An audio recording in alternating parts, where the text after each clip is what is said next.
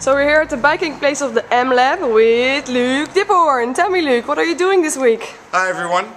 Uh, what am I doing this week? Well, I just uh, arrived back from Kenya from a nice summer holiday, so I still have a little bit of a tan, but uh, yeah, for one and a half weeks. Um, what am I doing? I'm actually very busy right now. We're trying to get all our Wash Alliance projects online, uh, which is one of our main consortiums, uh, so water and sanitation projects.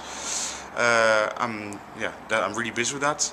Uh, what else am I doing? I'm trying to make sure that uh, my plans for Kenya are going to go uh, as smooth as possible. Uh, many people may not know it yet, but uh, from April I'll be in Kenya based to start the Akvo East Africa Hub, and uh, that doesn't happen by itself, so I'm busy organizing that. Um, I pester Catalina a lot with things. What else do I do?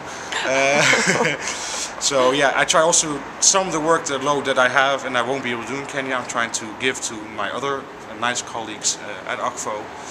Uh, so overall, uh, busy and uh, hopefully uh, enough time to also enjoy some of the work we're doing. It's cold right now here in Netherlands, so uh, two and a half more months and I'm out of here.